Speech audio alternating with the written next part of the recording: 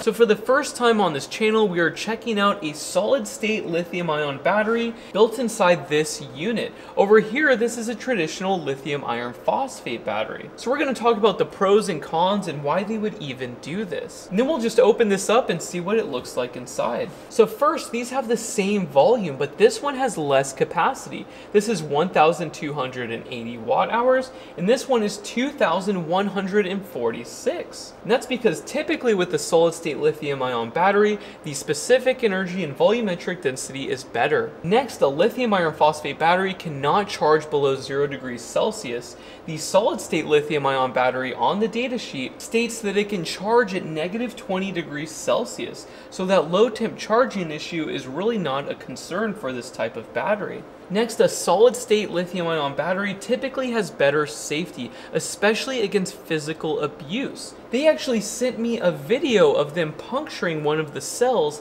and nothing happened. Lithium iron phosphate is very safe and the cells are hermetically sealed, but if I were to puncture them, that electrolyte is really messy and you do not want to touch it. So it's not an issue for this battery. Now the downsides, check this out. I looked at the data sheet and the charge cycle life is only 1200.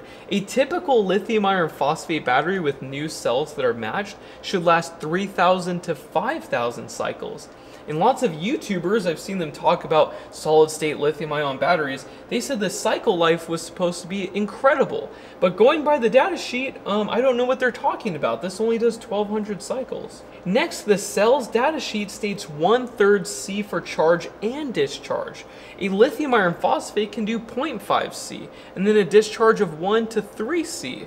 So yeah, that's pretty bad. But the safety is fantastic. The thermal stability, the temperature cycling, everything else for this chemistry is fantastic. But yeah, I would much rather go with lithium iron phosphate. It's just not worth any of these benefits at all, especially if it costs more. And this is why I never say anything on my channel until something's on my desk, I have a data sheet, or I have a study to back it up. Because all of these YouTubers say, oh, solid state lithium ion, it's the future. But I keep telling them, I'm like, wait until you actually have one in your hands.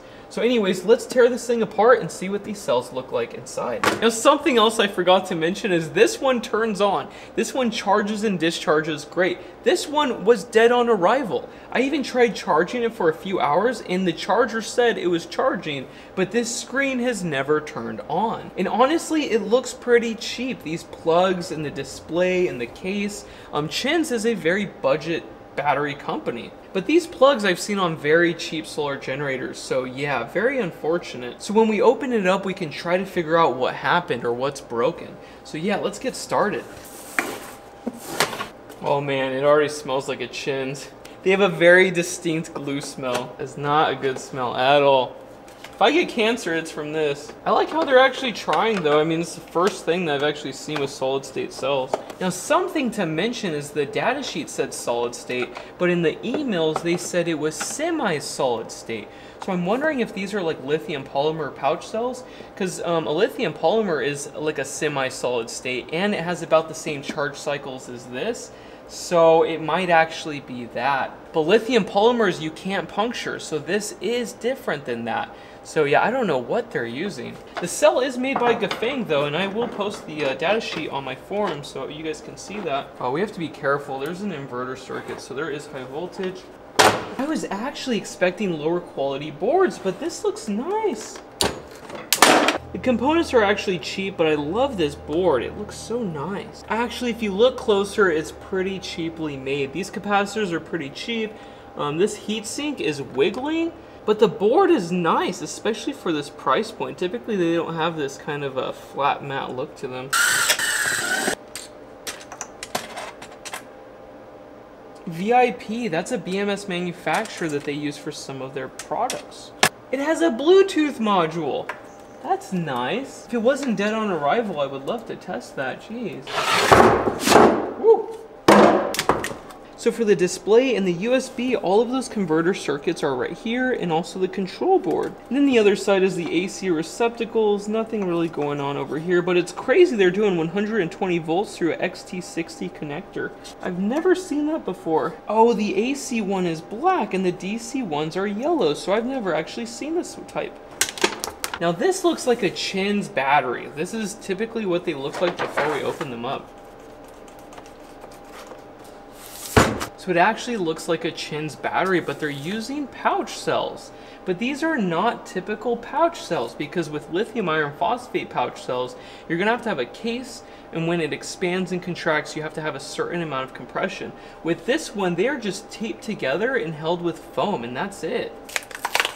Even though the safety is high on this type of battery, you always have to think that batteries are dangerous no matter what. No matter what chemistry it is. They hold a lot of energy in a small location. Nice! We did it. So this is the cell they're using. It's a Ganfeng 3.65 volt, 152 watt hour. Let's test the voltage, because I don't know why this thing did not turn on.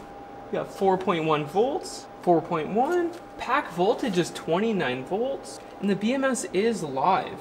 And this is a 60 amp BMS with 7S, and we have 14 cells. So this thing is still live even though we cut off one of the cells because this one is in parallel with this one. So it should have power for the inverter board and everything else, but I don't know why it didn't turn on. Nothing on the control board seems to be burned out, and it has a temperature sensor, but it's not attached to anything.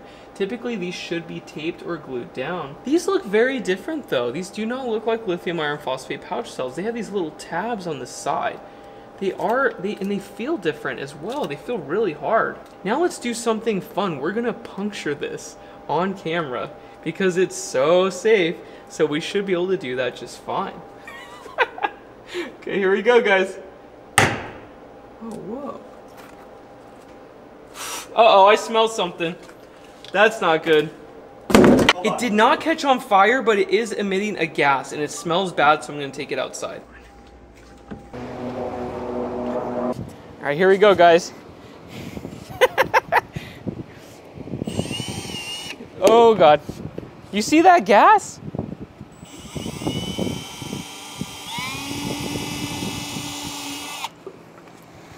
Oh. Oh. Yeah, bull. That is not safe. oh no! Oh no!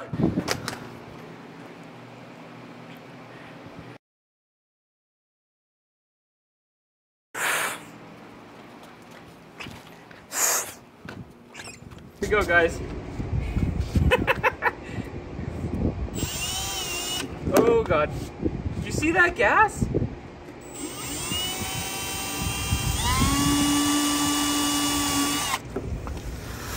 Oh. Oh. Oh Oh no!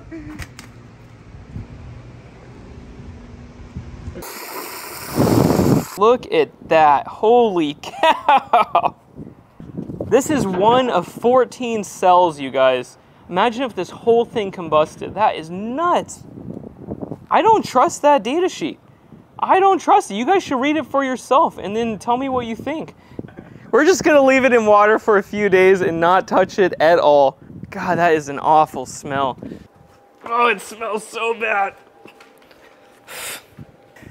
all those YouTubers saying, oh, solid state's the future. And then they send me this garbage. It's ridiculous. oh my God. Yeah, let's just leave that thing. We need to safely discharge this and then let it be till the end of time. I am never gonna touch this again. Oh, I hate when people send me this stuff. That sucks. So right now, I'm gonna let you guys watch the video that they sent me of the puncture test.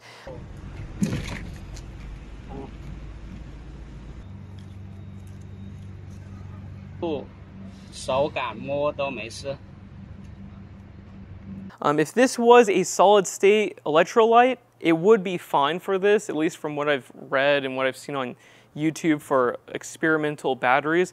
But yeah, this is not safe. This is pretty much the same safety as a lithium polymer and it reacts rapidly and that creates, that is a massive amount of heat that was created over there. So yeah, even though they advertise it and say that it's more safe, In this case, it wasn't. So yeah, take everything you see online with a grain of salt. My goodness. All right, yeah, let's go back inside.